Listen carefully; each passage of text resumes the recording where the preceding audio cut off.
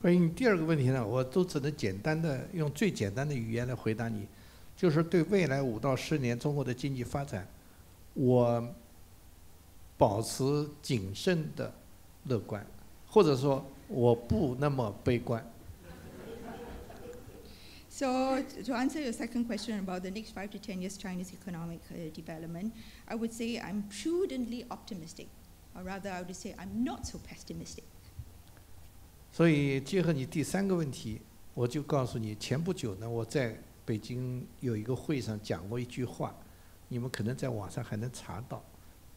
基本上这几句话呢，就代表我要回答你的观点，就是中国的股市，有人说当时说很危险，我说并没有那么危险。那么也有人说中国经济发展会掉到多少多少。中国经济发展很危险，我说也没那么危险。那么危险是什么？我说了两句话，说中国最大的危险是不改革，中国更大的危险是改革往回走。So, um, on your third question, recently I, I was in a conference uh, in Beijing. In fact, I said something, and you probably can read it from the, have seen it from the internet.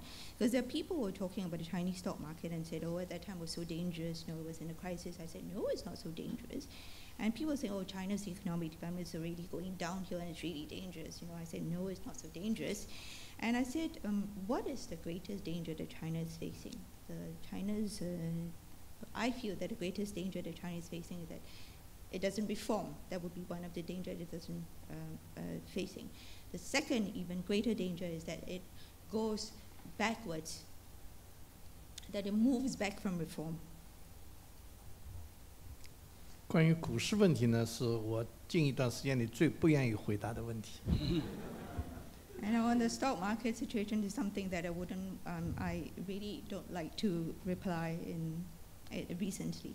因为 第一呢，他比较敏感；第二呢，永远有人会批评你，因为市场上总有赚钱的和赔钱的。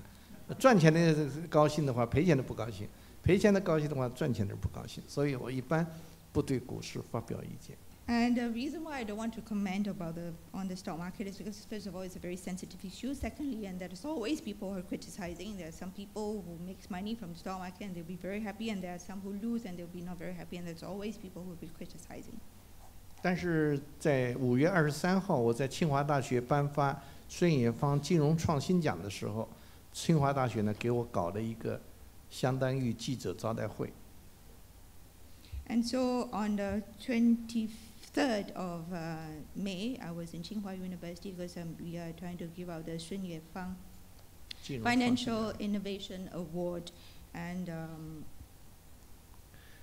那么在这个大家都知道，你只要是开记者招待会，就像今天我到这儿做讲座一样，就没有人不会提到股市问题。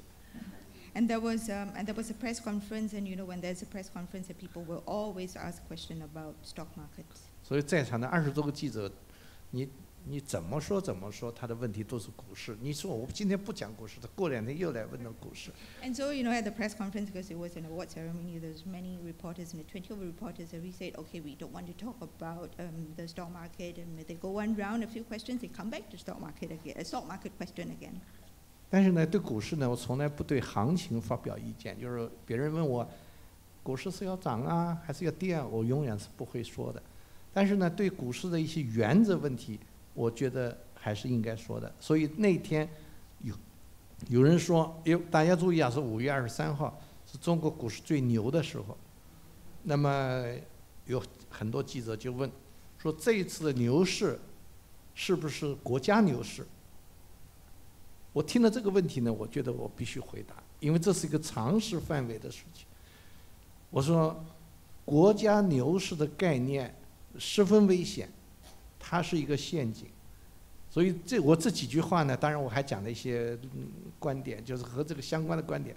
当时在五月二十三号以后，大概有十多天里，这个中国的各大传媒、电这个网站上面都几乎都在登我这句话。So Uh, what I really want, don't want to comment is um, about to, to, to predict or to comment on the market situation, whether it's going up or it's going down. But to talk about the principles of the stock market, I'm very willing to. And on the 23rd of May, it was actually a bull market, and the reporters were asking me, okay, bull market, is it a national bull, you know, that we are seeing a national bull market? Then I thought, okay, this is not very appropriate, so I think I need to answer the question because it's a question of general knowledge. And, and it's also very dangerous, I think, if we do not address this um, problem because I think it's a trap that people are falling into. And, um, and said I, I gave my opinion, I, I gave my, my two cents worth, and for the next 10 over days, in fact, the, the internet was uh, full of um, the comment that I made. 那么我就说，股市呢有涨就一定会有落，对吧？涨的是叫牛市，跌的是叫熊市。哦，你牛市你说这是国家的功劳，但这牛市以后变成熊市是谁的罪过呢？ 那你怎么交代呢？所以我说，不管是牛市还是熊市，你不要跟国家连在一起，它是市场的自身的一个规律。So, um, if because if there's bull, there's bound to be bear. And so if you say it's a national bull and they said because it's bull, because it's the government that is supporting it, then what about the, but the bear market? Who is supposed to bear the responsibility for it? So I said it is actually, whether it's bull or it's bear, it's actually the market trend. It is um, uh, observing the laws of the market. 那我讲完话以后的大概二十天，整整二十天，中国股市从六月十三号开始就进入下行的轨道。那么在这个我讲话的时候呢，当然有很多人也很不高兴，因为我这个，我好像我觉得我就无非是提醒大家，就像大家在喝酒，我说少酒少喝点，喝喝喝醉的，但是喝的正高兴的人一定不高兴，说啊你为什么要说不让我喝酒？呃，我估我觉得现在的大多数人都认为我讲的是对的，呃，有的人很多人说你的这个讲话呢，第一是对的，第二呢是很及时的。因为为什么对？当然不用说了。为什么说及时的呢？因为二十天以后股市掉了。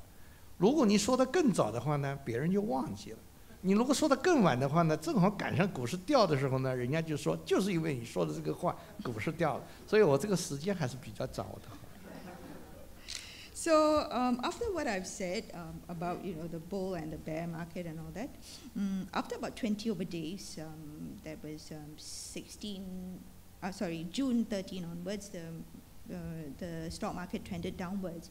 And there's some people who are not very happy with I say, they say, oh, what should, I just say, no, but I'm only reminding you of the principles of the stock market. It's just like, you know, when you overdrink, you drink too much, I say, don't drink too much, you know, and there are some people who will be very not happy, so why do you not allow me to drink? And so, but however, uh, whatever I've said, I think most people believe and think that I'm correct. I'm correct in what I've said, and what I've said is actually in time, prompt in that sense. Why do I say that? Because it came, the, the stock market came down 20 over days after I've said that. If it had happened earlier, and I've said that, in, if I said that much earlier, people would have forgotten that I've said that. If, it had, if I said it later, and then people say, oh, you said it, and see, now the market comes down